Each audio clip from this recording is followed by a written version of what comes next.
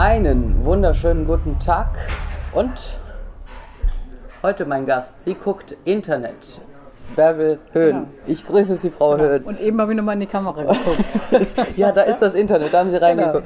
Äh, der hat Sie schon geärgert, der Pirat da in der Sendung, ne? Ach, ich habe mich da versprochen und so ist das Leben. Ich mache mittlerweile das Beste draus. Also ich brauche, glaube ich, keine, ich habe keine Probleme mit dem Internet. Ich mache sehr viel äh, und ähm, insofern ist in der, in der Sache ist da nicht viel zu kritisieren und ist so. Eine andere Frage ist, ähm, Sie, Sie waren lange Zeit Ministerin in Nordrhein-Westfalen unter drei Ministerpräsidenten. Ähm, jetzt wird der letzte, mit dem Sie da am Kabinettstisch saßen in NRW, womöglich mit Ihnen am Kabinettstisch sitzen in einem Jahr. Freuen Sie sich über den Steinbrück? Ja, ich habe ja schon gesagt, das ist jetzt nicht äh, mein Wunschkandidat, ähm, aber auf der anderen Seite ist er wahrscheinlich derjenige von den dreien Kandidaten, der am ehesten es schafft, ähm, Angela Merkel abzulösen. Das ist unser Ziel und deshalb ist er auch ein guter Kandidat. Ähm, ja, wenn wir Rot-Grün hinbekommen, das will ich, dann geht es offensichtlich nur mit Steinbrück. Deshalb freue ich mich jetzt am Ende dann auch, dass, ähm, dass wir es hoffentlich besser hinkriegen als damals in Düsseldorf. Jetzt mal so unter uns. Was ist denn so anstrengend an dem Typen? Ja, er war da schon in Düsseldorf nicht erträglich, das muss ich schon sagen. Aber hier in Berlin ist eine andere Zeit. Und selbst in Düsseldorf ist ja jetzt eine andere Zeit. Ähm, Hannelore Kraft äh, macht das sehr viel anders, sehr viel erfolgreicher. Und ähm, das System Clement, und dann hat Steinbrück das ja weitergeführt, war auch nicht erfolgreich. Wir haben beide verloren dabei. Und Steinbrück ist sehr lernfähig, also wir werden es besser machen. Als ob es keine Schubladen genug gäbe. In der, innerhalb von Parteien wird man auch noch in Schubladen gesteckt und man sagt, Bärbel Höhn, das ist so ein Fundi, also so, so eine Linke innerhalb der Grünen. Und wenn das so wäre, Sie waren lange Zeit immer tätig im wertkonservativen Lager. Wie sehr prägt das einen Menschen? Ich bin aufgewachsen in einer konservativen Familie. Also ich glaube, mein Vater, obwohl er da nie äh, das wirklich gesagt hat, ist ja Wahlgeheimnis, aber ich schätze mal, der hat immer CDU gewählt. Ähm, das sind so, also ich komme aus einer Bauernfamilie. Meine Großeltern waren drei Bauern und, und ein Lehrer. Und ähm, von daher kann ich eigentlich relativ gut mit Konservativen. Und natürlich, äh, als Landwirtschaftsministerin muss ich sehr viel im ländlichen Raum machen. Ähm, und ich habe sogar äh, bei der Wahl 2005, die ich ja nun leider verloren, die wir leider verloren haben, hatte ich eine Initiative Bauern für Bärbel. Also da gab es ein paar mutige. ich glaube, die hatten Riesenprobleme bei sich im Dorfkrug, aber die haben mich damals ganz offen unterstützt. Ähm, es ist eine spannende Zeit gerade mit der Energiewende. Gibt es Dinge, die Sie im Moment so aufregen in der Diskussion?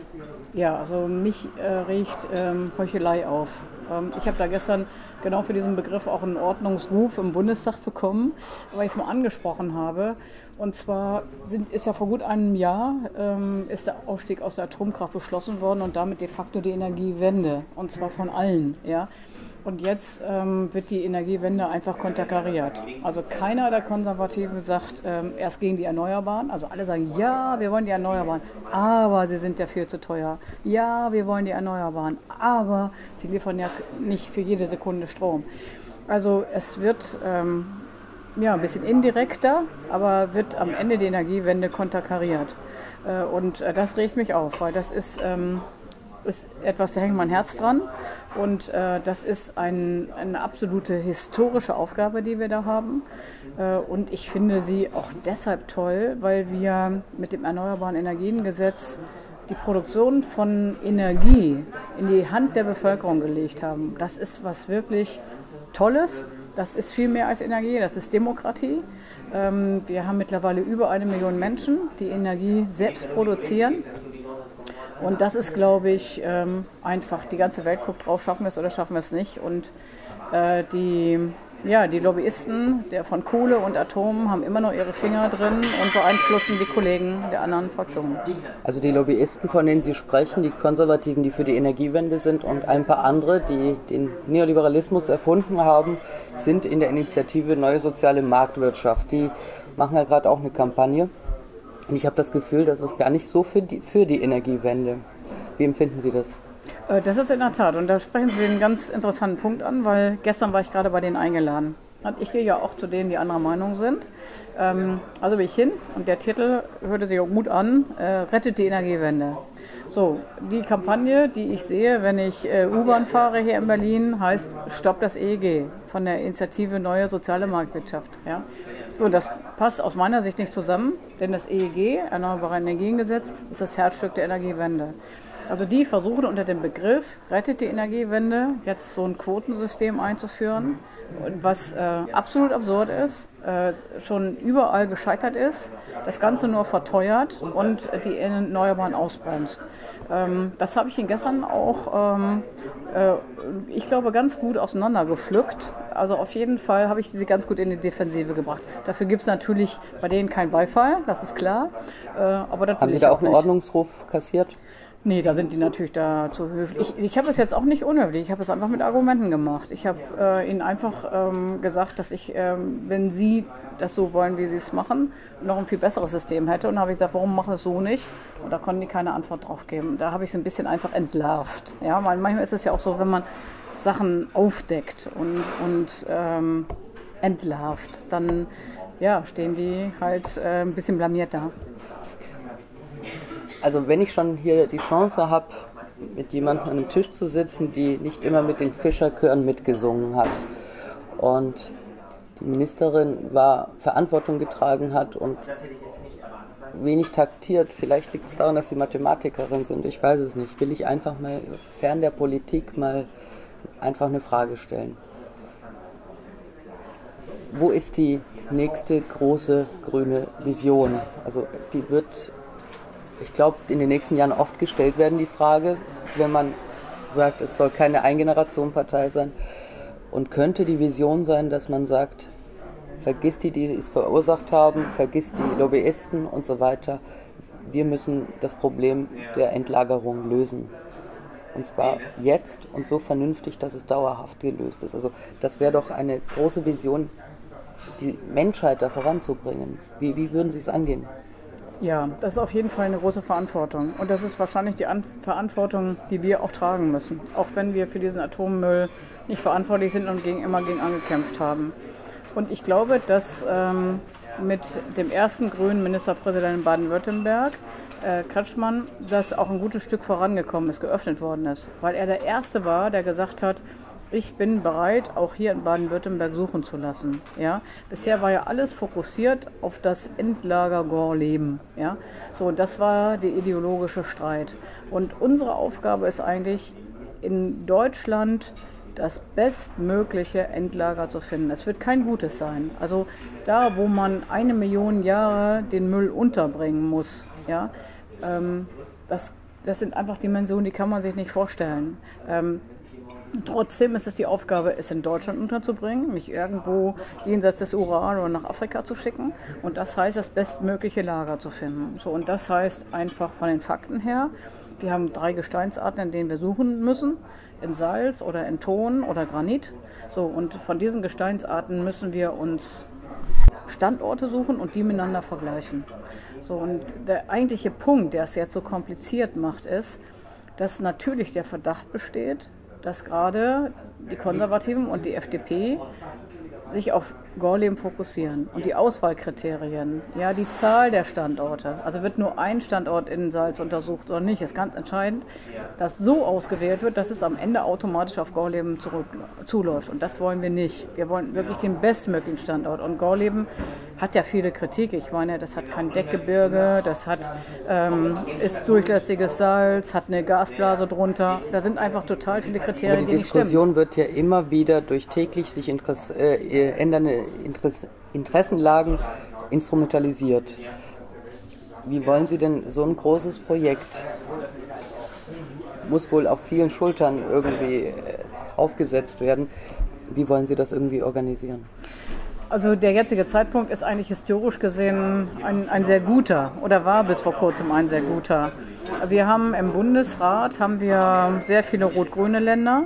Wir haben im Bundestag oder in der Bundesregierung einen konservativen äh, Umweltminister und wir können sowas nur machen über alle Fraktionen hinweg.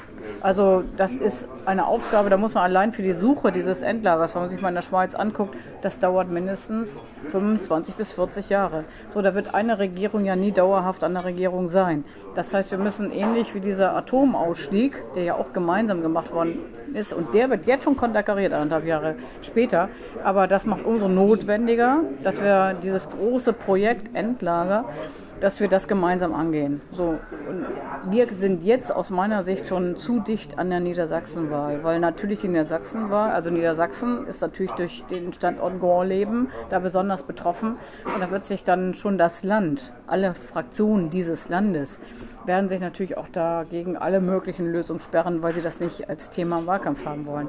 Das heißt, im Sommer hatten wir eine historische Chance. Ähm, Röttgen musste dann in Nordrhein-Westfalen Wahlkampf machen. Das Ende ist bekannt.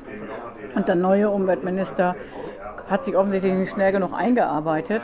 Deshalb ist diese historische Chance vertan. Ob wir sie nach der Niedersachsenwahl nochmal bekommen, ja, vor der Bundestagswahl, das muss man sehen. Weil dann wird denn die Bundestagswahl alles überlagern. So, und die Aufgabe von der, der Politik ist, diese kleinen Zeitfenster zu suchen, da auch wie Kretschmann es gemacht hat, den Weg zu öffnen. Ja, zu sagen, wir machen jetzt Bewegungen da rein und zu versuchen, solche Chancen für sowas Historisches äh, zu finden. Aber es müssen alle, alle ähm, Fraktionen mitmachen äh, zu der, bei der gemeinsamen Lösung, sonst wird es nicht funktionieren. Wie realistisch halten Sie äh, dieses Projekt für machbar? Ja, das muss ja gelingen. Wir müssen, also wir müssen ja unseren Kindern und, und Enkelkindern und allen nachfolgenden Generationen. Wo, wo, wo, ja, Enkelkinder? Ja, ich meine eine Million. Ne? Da, da, wie viele Generationen sind das? Das ist irre viel. Da müssen wir diese Lösung präsentieren. Das ist die Aufgabe an die Politik. Dankeschön, Frau äh, Bärbel-Höhn. Ich habe zum Schluss immer drei Begriffe und bitte um drei Assoziationen. Steinbrück hatten wir, davor gab es noch einen, Wolfgang Clement. Ähm, da erinnere ich mich lieber nicht so gern dran. Nein? Ja, also sehr spontan. Ähm, eher FDP als SPD, da ist er ja jetzt auch. Und das haben wir leider in der Regierungszeit auch ordentlich merken müssen. Zweiter Begriff, die jungen Grünen. Ach, die sind sehr erfrischend. Also ähm, ich habe ganz viele ähm, auch Praktikanten bei mir im Büro von äh, der Grünen Jugend und ähm, ich finde, das machen die gut. Die sind sehr engagiert, viele sind auch sehr inhaltlich. Also Arvid Bell zum Beispiel, der hat sich einmal entschieden, ich äh, gehe jetzt mal in die USA und, und ich will da auch erstmal einen Teil in den Beruf rein. Und also das finde ich richtig stark. Also ich äh, komme mit ganz, ganz vielen der äh, jungen Grünen oder Grünjugend, ähm, finde ich, find ich gut, was sie machen. Zum Schluss noch eine persönliche Frage. Äh, die will ich wirklich nachschicken. Ich habe Sie jetzt erlebt, Sie sind für mich keine typische Politikerin. Haben Sie es je bereut, in klein wenigen Momenten überhaupt in die Politik gegangen zu sein? Äh, habe ich nicht. Also ich wollte nicht in die Politik. Ähm, ich bin da über meine Kinder reingerutscht, weil ich mich einfach in, äh, für die Interessen meiner Kinder eingesetzt habe und wups war ich in der Politik. Ja. Ähm, ich habe viel gelernt. Ich habe äh, wirklich total interessante Menschen getroffen äh, und ich habe auch einiges bewegen können. Also insofern, das war eine harte Zeit manchmal. Also insofern gab es da schon Zeiten, wo man dachte, willst du das dir wirklich antun? Und wo ich dann gesagt habe, nee, diese Arschlöcher, die lasse ich hier jetzt nicht gewinnen. Äh, also da versuche ich gegen anzugehen. Ja, und ähm, wenn man dann beharrlich genug ist oder sowas, dann kommt man schon auch voran. Und also insofern bin ich äh, in der Summe jetzt eigentlich, ähm, finde ich es gut, in die Politik gegangen zu sein. Nein, ich habe es nicht ernsthaft bereut. Ich danke Ihnen für dieses Gespräch, Frau Höhn. Vielleicht bald wieder zu einem Kaffee. Und ich bedanke mich auch bei euch, meine lieben Abonnenten. Und mein nächster Gast ist der Journalist Hans-Ulrich Jörges. Bis zum nächsten Mal.